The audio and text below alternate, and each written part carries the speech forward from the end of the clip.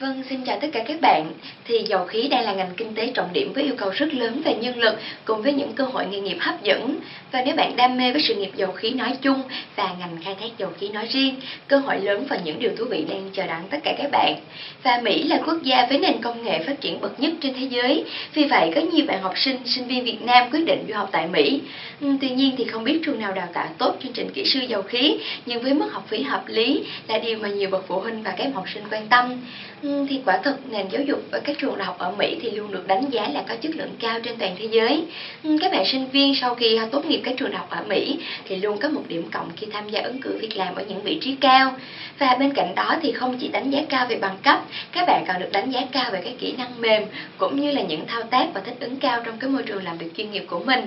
thì quả thật ngành dầu khí ở Việt Nam hiện nay khá là non trẻ với nguồn nhân lực còn hạn chế năng lực cung cấp chưa đáp ứng đủ nhu cầu sử dụng và nhiều bạn chọn Mỹ để làm điểm đến lý tưởng của mình thì thì University of Kansas là một địa chỉ mà bạn khó có thể bỏ qua. Bởi so với hầu hết các trường đại học có đào tạo ngành kỹ sư dầu khí thì trường Kansas có mức học phí khá là hợp lý chỉ với 28.500 đô trên một năm mà thôi.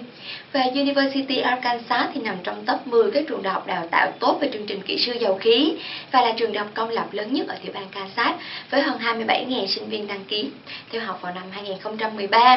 và trường thì được thành lập từ năm 1865 nằm ở thành phố Clarence, bang Kansas, một thành phố yên bình và xinh đẹp. Bên cạnh đó thì các bạn sinh viên có thể tìm thấy bất kỳ ngành học với hơn 345 ngành học mà mình mong muốn tại trường, từ kinh tế, tài chính, quản trị, nhà khách sạn, tinh học, khoa học máy tính, kỹ sư cơ khí, xây dựng, toán, vật lý, sinh hóa, y hay dược cho đến những ngành như là báo chí, nhiếp ảnh, nghệ thuật, thiết kế, quản lý giáo dục, thể dục thể thao, luật, tâm lý học hay là còn nhiều ngành học khác nữa. Và để nhập học vào trường University of Kansas thì yêu cầu các bạn phải tốt nghiệp trung học phổ thông, có điểm trung bình cuối năm lớp 12 là từ 6.25 trở lên. Và nếu điểm trung bình của lớp 12 các bạn nhỏ hơn 6.25 thì điểm trung bình 3 năm lớp 10, 11 và 12 phải từ 6,25 trở lên. Nhưng mà đối với trường hợp này thì các bạn phải scan về email học bạ 3 năm học cấp 3 hoặc là các bạn có thể gửi trực tiếp cho đại diện trường ở Việt Nam mới là công ty Tân Đại Dương để xét tuyển và sẽ trả lời kết quả cho bạn từ 2 đến 3 ngày làm việc. Về tiếng Anh thì yêu cầu các bạn các yêu là 5.5 5 hoặc TOEFL IBT là 68. Ừ, riêng với yêu cầu tiếng Anh thì nếu các bạn chưa có đủ điều kiện thì các bạn hoàn toàn có thể yên tâm vì các bạn sẽ được học khóa tiếng Anh đầu vào tùy vào trình độ của mình, sau đó sẽ chuyển vào học cái ờ, chương trình chính khóa. Và để nhận được visa du học Mỹ, các bạn cần thành thật trả lời về bộ hồ sơ của mình và thật tự tin thì ở Bảo Trâm nghĩ các bạn sẽ có cơ hội nhận tấm visa trong tay mà thôi. Các bạn cần lưu ý những vấn đề cơ bản sau. Một là phải chứng minh có đủ khả năng tài chính để trang trải cái chi phí trong quá trình học tại Mỹ của mình. Hai là các bạn phải đảm bảo giữ đúng lại visa mà mình đã xin và giữ đúng cái mục đích vào Mỹ của mình. Và cuối cùng là bạn phải chứng minh ý định quay về Việt Nam sau khi à, học xong cái khóa học tại Mỹ. Và các bạn hãy chuẩn bị hồ sơ đầy đủ và mang đến công ty du học Tân Đại Dương để chúng tôi xem xét xét từng hồ sơ cụ thể, vì mỗi một hồ sơ là không ai là giống ai cả theo địa chỉ công ty là 148 xuyệt 1 trường Quang Khải, phường Tân Định, quận nhất ngoài ra, Tân Đại Dương còn hai chi nhánh ở quận 5 và thành phố biển Nha Trang cần thêm thông tin gì các bạn cũng có thể gọi ngay đến số điện thoại 08 3848 4879 hoặc truy cập vào website tân đại dương.edu.vn Xin chào tất cả các bạn đã đến với chương trình chia sẻ ước mơ du học Mỹ cùng với công ty tư vấn du học hàng đầu Việt Nam, công ty Tân Đại Dương. Trong chương trình ngày hôm nay chúng tôi rất vui khi mời đến đây bạn Trương Mai Ly. Bạn vừa mới tham gia um, một buổi phỏng vấn với lãnh sự quán Mỹ vào lúc 8 giờ sáng ngày hôm nay và bạn đã tức tốc quay trở lại đây với chúng tôi để báo cho chúng tôi một tin mừng là bạn vừa có được visa du học Mỹ. Thì uh, chị xin chào Mai Ly. Chào chị. Uh, Mai Ly có thể giới thiệu sơ nét về bản thân mình cho tất cả các bạn được biết không? Tên là Mai Ly. À, mình năm nay 24 tuổi đã tốt nghiệp đại học ở Việt Nam và sáng nay là mình đi phỏng vấn để à, xin visa du học Mỹ. À, cái cảm giác của em khi tham dự cái buổi phỏng vấn với lãnh sự quán Mỹ thì như thế nào? Thì sáng nay là lúc 7 giờ, 8 giờ là em có hẹn phỏng vấn nhưng mà 7 giờ em tới thì lúc đó là cũng chưa được vào thì tâm trạng lúc ở ngoài nhìn người ta vào thì cũng hơi lo lắng một chút hơi lo lắng một chút thôi chứ không có luôn tại cùng chuẩn bị tâm lý rồi trước sau gì cũng phải vào thôi à, lúc đó thì cũng có trò chuyện với một số người cùng giờ hẹn với mình thì khi mà vào trong đó ờ, thì cảm giác không hầu như không còn nữa tại vì thấy là sự cũng rất là thân thiện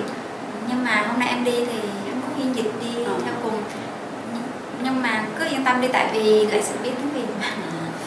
rồi mình đã tốt nghiệp đại học ở Việt Nam vậy thì qua Mỹ mình sẽ học ở trường nào và mình chọn chuyên ngành gì em? Em học trường Harvard của bang Maryland. Chọn chuyên ngành là quản trị kinh doanh này ạ.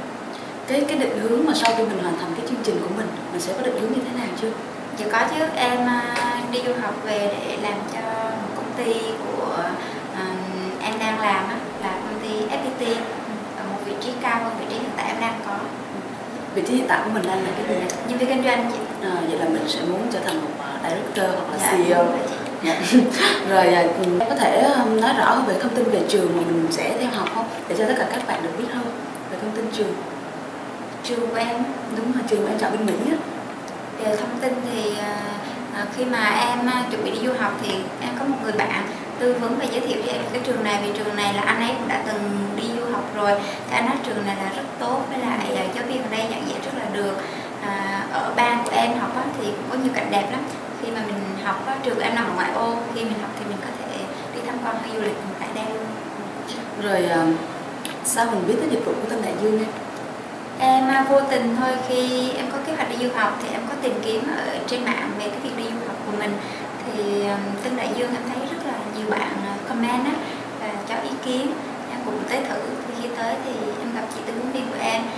rất là dễ thương um, tư vấn rất là nhiệt tình khiến cho em cảm thấy là tin á khi mà làm hồ sơ tại đây. Rồi à, trong quá trình em làm hồ sơ với Tân Đại Dương thì có cái gì để ấn tượng mạnh cho em không? Đó là khi vừa bước vào à, cửa Tân Đại Dương thì cái chị tư vấn viên của em là em không nghĩ là sẽ trẻ như vậy và rất là có kiến thức của chị. Nói chung là rất là vững và chị nói chuyện khiến cho người ta tạo được lòng tin á. Chị rất dễ thương rất ấn tượng ngay từ lần đầu bước vào Chị cảm ơn những cái chia sẻ của Miley cũng như là Miley đã tới đây để chia sẻ cho tất cả các bạn được biết à, về cái việc phỏng vấn ở lãnh sự Mỹ thì như thế nào và chúng tôi hy vọng rằng với cái chia sẻ của Miley sẽ giúp ích rất là nhiều cho tất cả các bạn mà đang có dự định đi du học Mỹ và các bạn cũng sẽ thông báo với chúng tôi là bạn đã có được visa du học Mỹ trong tay. Xin chào và hẹn gặp lại tất cả các bạn.